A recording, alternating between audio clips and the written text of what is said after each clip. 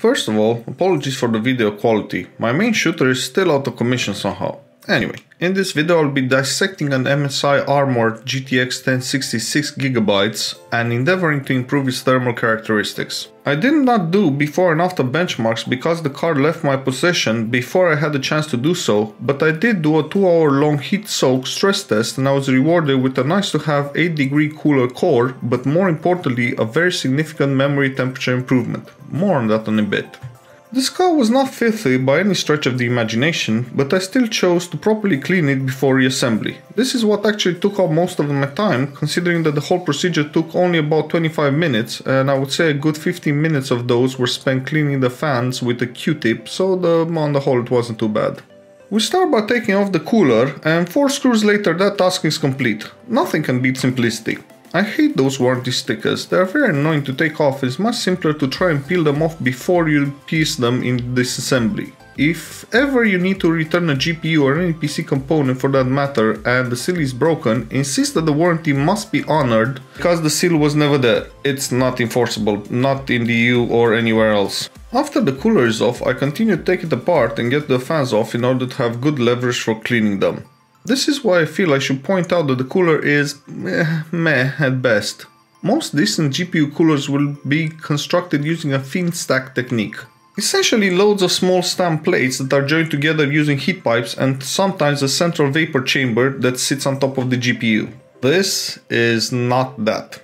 On this GPU, MSI used a much simpler, cheaper extruded aluminum block and attached a heat pipe to it that runs on top of the GPU die so it better dissipates the heat. While adequate for this 120 watt card, I would not want to see this type of construction on any other card that draws more power than this. The surface area would simply not be enough to effectively dissipate any more heat. That is not the main failing of this design, far from it. When inspecting the card I noticed that the memory chips did not have any thermal pads on top and had a gap of about 1mm to the heatsink. Because of the aforementioned cool design, no air from the fans can circulate down there. The cooler had a fin stack design, not having direct memory cooling would be perfectly acceptable as there would be plenty of airflow, but like this those memory chips get uncomfortably hot during gaming. I used a semi-accurate infrared thermometer and I managed to get a reading of a couple that fluctuates between 80 and 84C, within GDDR5 specification but only squeezing by by 1 degree Celsius. I then tried the torture test with a mining application to read the worst case scenario temperatures and 5 minutes in it went over 92C at which point I ended the test. Yes, I am aware no one will probably mine on a 1060 again, it was just used as a worst case scenario. And mind you, those are GDDR5 memory modules, not GDDR6 like the newer cards, which have a higher TJ max, so 92 degrees is way up there. Again, I should preface this that my infrared thermometer is not really rated for such high temperatures as is tuned for taking human temperatures. It does have a general setting that can be used all the way up to 160C, so even if it's reading a couple of degrees more, the temperatures are still not great. The 1060's GDDR5 memory modules do not have any thermal sensors and as such they were allowed to heat up uncontrolled and as far as I can tell there is no thermal throttling in place with the memory effective speed staying constant. And now for the preventive maintenance part of this video, adding some thermal pads to cool down those memory modules during usage. I only have some 3mm Gelid Ultimate pads left over from a previous project that uh, they're not ideal but they will do. They are way too thick and too tough, but with a bit of persuasion and careful squishing using a spirit level, I managed to get them down to about 1.3mm thick or so. It will not be perfect by any means, but when the alternative is no contact whatsoever, the fact that the pressure might be uneven begins to sound like a pedantic concern.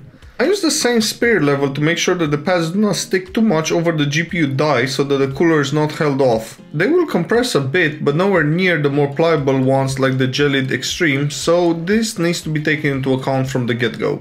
Because going down this route of using harder and thicker pads does include a bit of a hit and miss scenario. Because we do not have memory thermal sensors to work with, the next best thing is to check the GPU die temperature, which will usually be the edge temp. And if available, because it's a lot more telling, then we can also check the hotspot temperature. I was very happy to discover that my hotspot temperature went down by a very respectable 8 degrees Celsius, and if memory serves, the gap between the core and hotspot temperature was also reduced from 12C to 7 to 8 78C, which signaled that incredibly the GPU die is making better contact with the cooler than before. Although a lot of that difference can be put down to the fact that the MX5 thermal paste that I use is much better than whatever came in from the factory. In terms of absolutes, the core went down from 78 to 70C and the hotspot is now hovering between 76 and 78C, way below the 82 to 84C previously experienced. I'm now regretting not spending more time with this card and gathering more data, but I did stress test it for a couple of hours and in heaven the memory temperatures at the approximate safe spot I measured before went from 84C in heaven to a much nicer 72C. I mean, talk about improvements. But what about under a mining load? Well,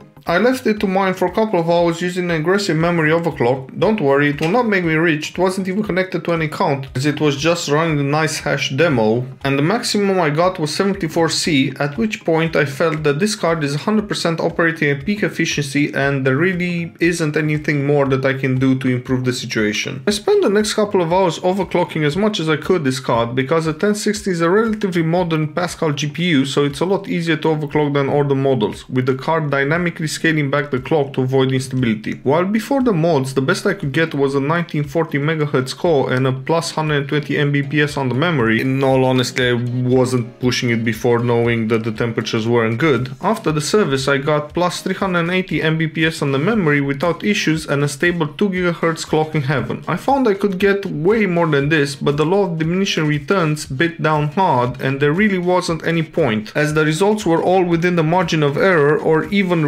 at some point. And now a quick little bonus to this video. I did get my hands on another GTX 1060, this time from KFA2, a company better known as Galax. The cooler is still a chunk of aluminium and there are no thermal pads on top of the memory modules, but this is where the similarities end. Where the MSI did not have any airflow provisions, this has tactically placed slits to allow for air cooling of the PCB components and also provides a thermal pad on top of the power delivery components. It's an improvement in design without a lot of extra cost and if it was me I would definitely choose this one over the MSI Armor one. And that's about it for this video. If you wanna see this card being benchmarked in its intended system I'll link in the appropriate video in the description. Hope you enjoyed it and see you in the next one.